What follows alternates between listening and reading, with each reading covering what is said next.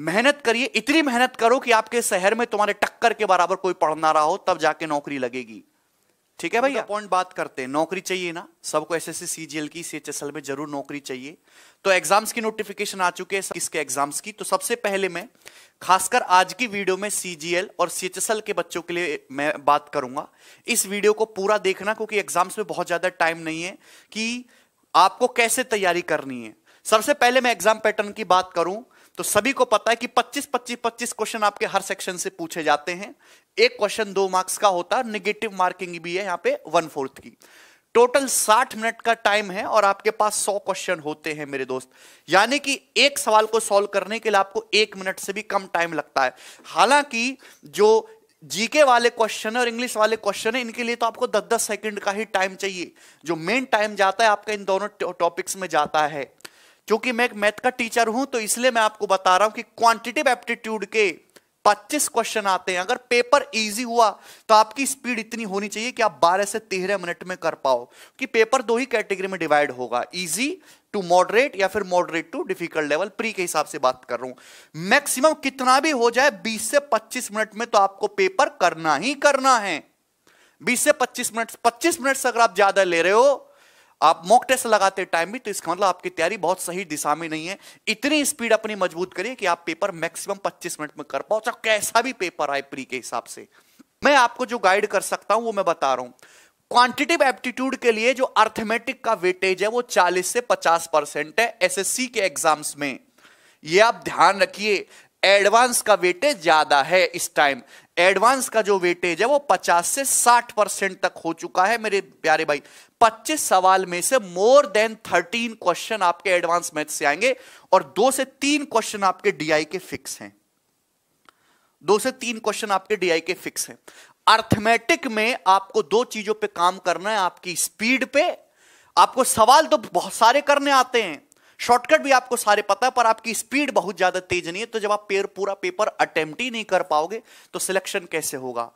दूसरी बात कि जो 10-12 साल पुराने सवाल, उनमें डाटा बहुत इजी है। 10 परसेंट, बीस परसेंट, पंद्रह परसेंट, दो रेशो तीन रेशो चार। ऐसे सिंपल डाटा आजकल यूज़ नहीं होते हैं। सवाल तो वही पूछे जाते हैं, लेकिन थोड़ी न्यूमेरिकल वैल्यू को डिजिट्स को बड़ा कर दिया है। डेसिमल का ज़्यादा यूज़ किया गया है। तो आप फ्रेश सवालों की ज़्यादा प्रैक्टिस करें, जो रिसेंटली चार पाँच सवालों में चार पाँच सालों में पूछे गए।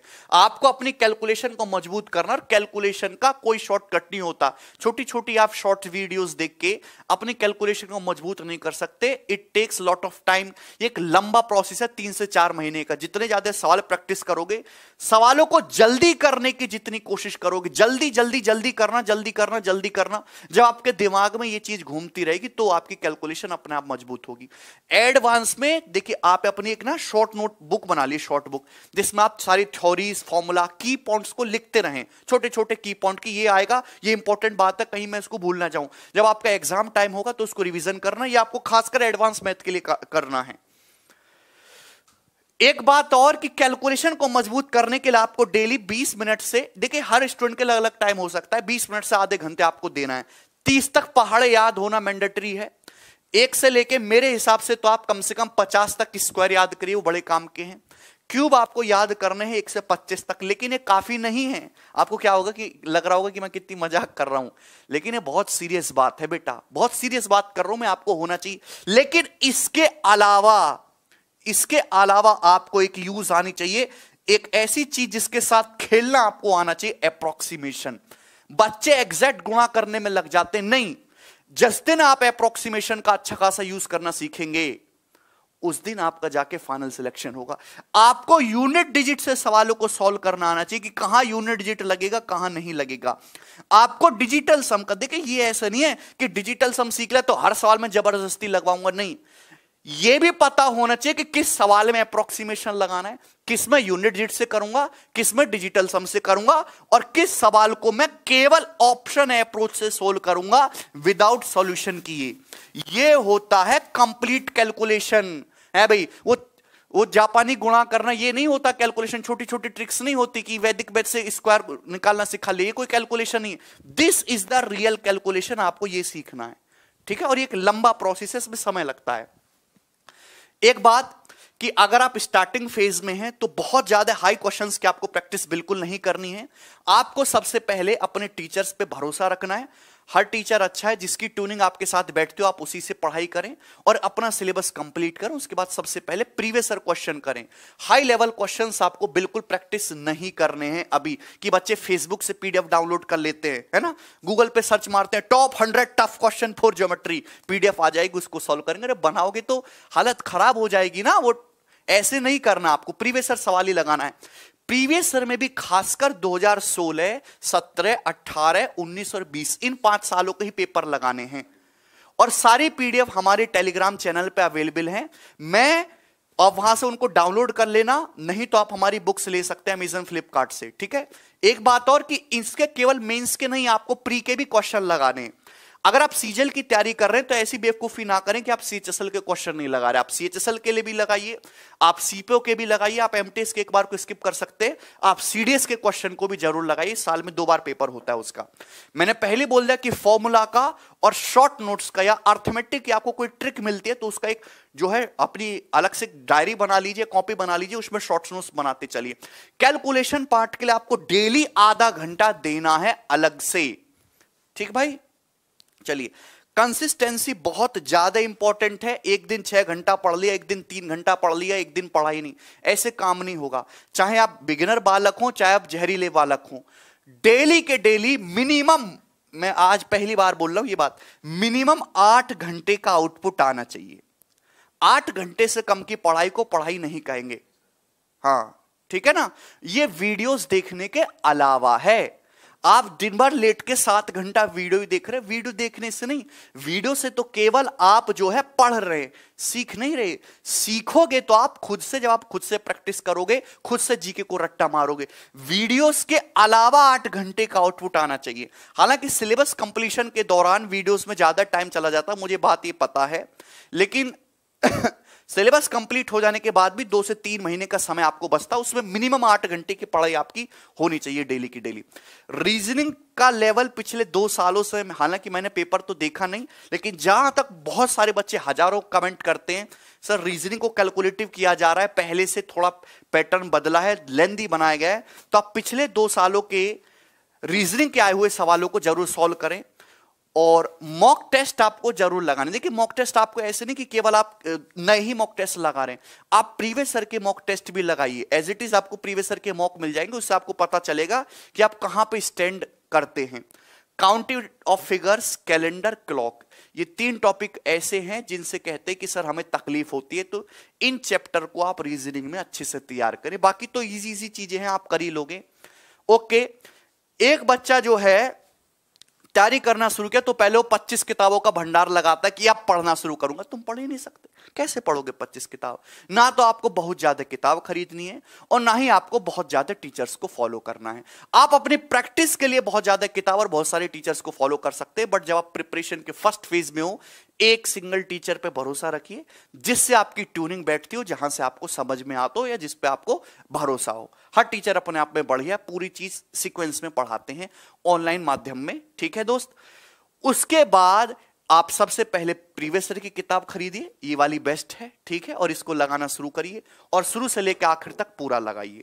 बहुत ज़्यादा कंटेंट के पीछे आपको नहीं भागना है कंटेंट आपके अंदर से ही उत्पन्न होगा, ठीक है ना? चलिए, देखिए इंग्लिश के लिए, हालाँकि मेरी इंग्लिश कोई बहुत ज़्यादा अच्छी नहीं है, पर सबसे पहले आपका जो मॉर्निंग का शेड्यूल होना चाहिए कि जैसे ही आप सुबह उठे तो आपको कम से कम कम से कम एक घंटा अपनी वोकेबलरी के लिए या आप कोई न्यूज़पेपर वगैरह पढ़ते या रीडिंग के लिए देना चाहिए, या करंट अफेयर के लिए। एक घंटा तो इसके लिए अलग से निकालना चाहिए। एक घंटा और आधा घंटा आपकी कैलकुलेशन के लिए। वोकेबलरी में आपको मिनिमम ये टारगेट बना लीजिए। देखिए टारगेट बेस्ड पढ़ाई करनी है। हर स्टूडेंट के अलग अलग होता है कि minimum 20 words 20 idioms 15 antonym 15 synonym ये मुझे करने ही करने हैं। आपकी कैपेसिटी ज़्यादा है, आप 20 की बजाय 50 कर लीजिए। लेकिन डेली सुबह उठते ही सबसे पहले जो काम होता है एसएससी की तैयारी कर वाले विद्यार्थी का, वो वोकेबलरी तैयार करना होता है। डेली वोकेबलरी जो है, सुबह एक घंटा उठते ही पढ़िए। उसके बाद ग्रामर की प्रैक्टिस डेली करनी है, चाहे आपने ग्रामर पढ़ी हो या ना पढ़ी हो। डेली प्रैक्टिस करनी आपके सामने क्वेश्चन आएगा आपने उसको देखा उसका आपने एक्सप्लेनेशन पढ़ लिया उससे सबसे ज़्यादा मज़बूत होती है। बच्चे ये गलती करते हैं सिलेबस तो कंप्लीट नहीं हुआ का करूँगा पढ़ के? ऐसा नहीं होता बेटा। डेली आपको 20 वॉइस के क्वेश्चन करने तो करने हर किसी को अंग्रेज़ी आती है। आप देखिए उसका एक्सप्लेनेशन देख लीजिए वो चीज़ आपके दिमाग में रहेगी टिकी रहेगी। और जब आप एक जैसे चार पाँच सवाल कर लोगे ना तो वो चीज़ बिल्कुल फिट हो, हो जाएगी। सिलेबस पूरा होने का इंतज़ार मत करिए अंग्रेज़ी में। अभी से पहले दिन से ही प्रैक्टिस करना शुरू कर दीजिए प्रीवियसर की किताबों से। ये आपके सामने लिखा हुआ है।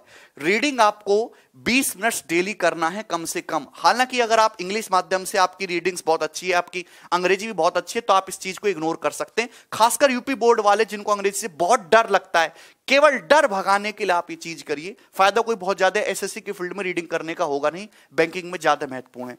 पाँच पैरा जेम्बल और दो सेट्स ऑफ़ क्लोज टेस्ट आपको डेली लगाने हैं। ठीक है भाई? करंट अफेयर्स बहुत ज़्यादा इंपॉर्टेंट है, क्योंकि 25 में से मिनिमम पाँच क्वेश्चन अब करंट अफेयर से आते हैं। पिछले दो तीन साल से मैं पैटर्न देख रहा हूँ। पर प्रॉब्लम यह है कि करंट अफेयर बहुत ही ज़्यादा टेक्निकल और मतलब बच्चों को उम्मीद नहीं होती कि ये भी आ जाएगा और ये बहुत वास्ट है। इतनी सारी चीज़ें होती है, हमारे देश में विकास हो ही रहा है तो बहुत सारी नई नई चीज़ें होती है, कहाँ तक रट्टा मारोगे? तो करंट अफेयर जो है डेली आप कर पाते हो तो ठीक है अदरवाइज़ मंथली जो है शॉर्ट वीडियोस आती है मंथली एक पूरा का पूरा जंबल आपको कलेक्शन मिल जाएगा। आप उसको मंथली ज़रूर करिए रिवाइज करंट अफेयर आपको मिनिमम पिछले छह महीने का करना है आपके एग्ज़ाम डेट के पहले तक का। मिनिमम कम से कम बात कर रहा हूँ। लेकिन एक साल तक के सवाल पेपर में पूछे जाते हैं। मिनिमम छह महीने का तो करना ही करना है। ठीक है भैया? चलिए। और सबसे लास्ट में कि वीक में, हफ़्ते में एक दिन ऐसा निकाले सैटरडे संडे जो भी आपको सुविधा लगे, जिसमें आपको सबसे पहले कि उस हफ़्ते में जो भी पढ़ाई करी है, उसका रिवीजन करना है, जो आपने शॉर्ट नोट्स बनाए हैं, उसको देखना है। और यह देखना है कि इस हफ़्ते में मैंने कितना आउटपुट निकाला और पहले से कितना ग्रोथ हुआ। ठीक है? और मेहनत करिए बेटा, बिना मेहनत के कुछ भी फ़ायदा नहीं होने वाला। डेली के डेली आठ से दस घंटे का आउटपुट निकालिए। समय कोई बहुत ज़्यादा है नहीं कि अभी तो चार महीने बाकी है, पाँच महीने बाकी है, दिन ऐसी हवा में उड़ जाते हैं। ठंडी का टाइम चल रहा है, दिन भी छोटा होता है तो सुस्ताइए मत, मेहनत ज़्यादा करिए। बच्चे बहुत ज़्यादा लाइन में है है ना? नंबर ऑफ़ स्टूडेंट बढ़ते जा रहे हैं वैकेंसी कम होती जा रही है। कट ऑफ़ 85 परसेंट पे पहुँच गई है, बच्चों की एफिशिएंसी माइनस एट्टी परसेंट पे हो गई है। ऐसा नहीं करना बेटा। मेहनत करिए, इतनी मेहनत करो कि आपके शहर में तुम्हारे टक्कर के बराबर कोई पढ़ना रहा हो, तब जाके नौकरी लगेगी। ठीक है भैया?